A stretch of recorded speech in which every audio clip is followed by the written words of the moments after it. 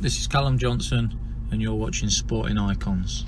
So it's just been confirmed that Vasyl Lomachenko will take on Luke Campbell for the vacant WBC 135 title that Mikey Garcia, of course, recently vacated, in addition to the WBA and WBO that Vasyl Lomachenko already has. So it's a unification, much like they did with uh, Klitschko and Anthony Joshua for the vacant WBA. Similar kind of situation.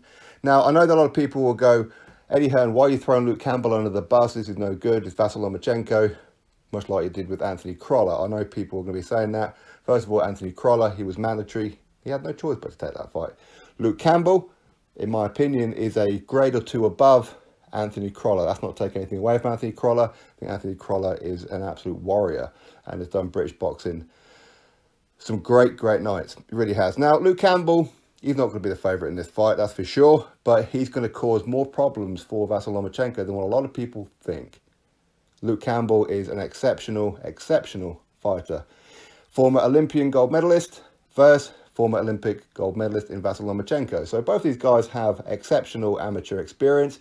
And Luke Campbell, he does have two losses on his record. First one was early on in his career against Yvan Mendy. He has, of course, since rectified that loss against him by defeating Yvan Mendy, so he scrubbed that one off. The other one is Jorge Linares, in a fight that I felt that he won that one, but listen, the fight didn't start off too great, did it? But either way, um, in my opinion, I think that a lot of people are going to say, but Luke Campbell lost to Jorge Linares, Vasyl Lomachenko defeated Jorge Linares. Yes, but Jorge Linares did drop Vasyl Lomachenko in that fight as well. But listen, just because you can beat one person don't mean you beat the other one. Styles make fights. You've heard that old saying before numerous times. I'm sure you're all sick of hearing it. And anything can happen. I'm sure you're sick of hearing that too. I am as well. But this is a it's an interesting fight. And if you look at the 135 pound division, Luke Campbell is up there with the best of them. He is a legitimate contender for this one. And the fight, by looks of it, will be in the UK as well. So a little bit of an advantage to Luke Campbell. Can they get it in Hull?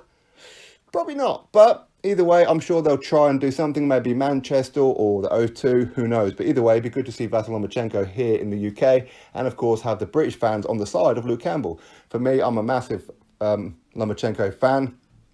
Um, in my opinion, he's top three, pound for pound. Could be number one, number two, number three. Don't really care, to be honest. Between him, Canelo and Crawford. Um, I don't buy too much into pound for pound, but if it really did exist, Lomachenko would be up there, wouldn't he? Um, but Lomachenko is going to be the favourite, that is for sure. But I think that Luke Campbell is going to give a lot more than what people think is going to happen. I think Lomachenko may struggle for a little bit in this fight. I'm not saying he's not going to win. In fact, Lomachenko is going to be the favourite. We can't hide behind that. Lomachenko is a freak of nature, nicknamed the Matrix, for very good reason. Um, but either way, I'm okay with this fight. Eddie Hearn, as I said, um, is not too happy with this situation. Obviously, he wanted Luke Campbell versus new signing in Devin Haney.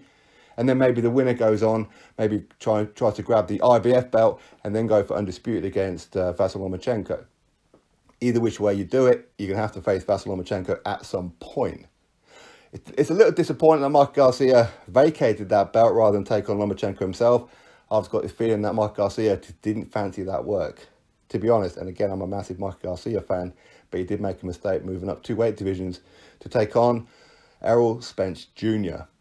But it is what it is. So this is the news that Luke Campbell will be taking on Vasyl Lomachenko. We're still waiting for a date and a venue, but it will be for the vacant WBC title plus the WBO and the WBA.